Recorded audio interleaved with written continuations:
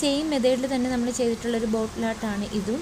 അപ്പോൾ ഇതിൽ നമ്മൾ ഉപയോഗിച്ചിരിക്കുന്ന ഇത് കൂട്ട് ഫ്ലവേഴ്സൊക്കെ നമുക്ക് വാങ്ങിക്കാൻ കിട്ടുന്നതാണ്. പിന്നെ ഈ ഒരു എണ്ണം ഞാൻ പെയിന്റ് അടിച്ചെടുത്തിട്ടുള്ളതാണ്. അതിന്റെ ഒരു പീസ് നമുക്ക് ഒരു പീസായിട്ട് തന്നെ വാങ്ങിക്കാൻ കിട്ടും. ഇതാണ് ആ പീസ് പിന്നെ ഇതിൽ ബാക്കി മിച്ചമുള്ളതൊക്കെ ഞാൻ തയ്യൽക്കടയിലൊക്കെ മിച്ചം വരുന്ന തുണിയിൽ നിന്ന് വെട്ടിയെടുത്തിട്ടുള്ളതാണ്. പിന്നെ മിറർ തന്നെ പല ഷേപ്പിലുള്ള മിററുണ്ട് ഡയമണ്ട് ഷേപ്പിലും റൗണ്ട് ഷേപ്പിലും റൗണ്ട് ഷേപ്പിലുള്ള മിററാണ് ഞാനിവിടെ യൂസ് ചെയ്തിരിക്കുന്നത്.